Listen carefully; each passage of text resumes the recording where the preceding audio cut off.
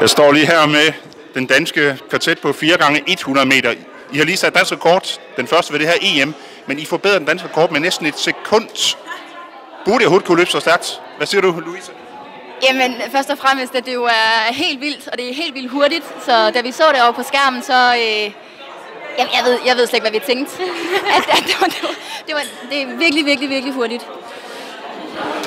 Altså, I har jo tidligere i år øh, både løbet på i London og Lausanne, men at stå her på Berlin, var det noget andet? Hvad siger du med det?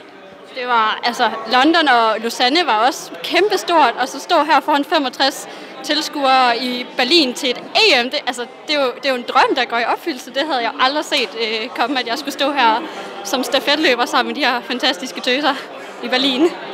Ida, du øh, løber anden tur. Øh, for mig set det ud som om, at det var lige før, at øh, Louise ikke nåede op til dig. Var du for hurtigt ude? Det ved jeg ikke, men Louise indhentede mig, så det, øh, det var godt. Det er jo sådan, vi egentlig har aftalt det. Det skal afleveres så sent i zonen som muligt. Måske lige til den sene side, men øh, vi klarer den. Og for tre år siden, så spillede du øh, fodbold, du var på landsholdet, og nu øh, er du så EM i atletik. Øh, er det, det, det er et valg, du er ret glad for at have taget? Det er jeg bestemt. Det, jeg fortryder ikke noget. Mathilde, altså, I bliver nummer 11 samlet. For mig, man havde på forhånd talt om, at måske kunne I lige slå en enkelt eller to nationer, men bliver nummer 11. Altså, giver det mod lige pludselig at gå efter VM og OL?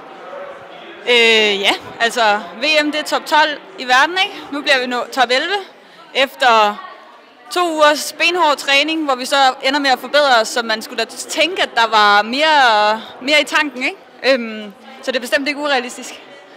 Hvordan skal I ud og fejre det i aften?